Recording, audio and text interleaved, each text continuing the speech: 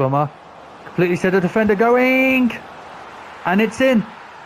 Drummer gets the very first goal of this game.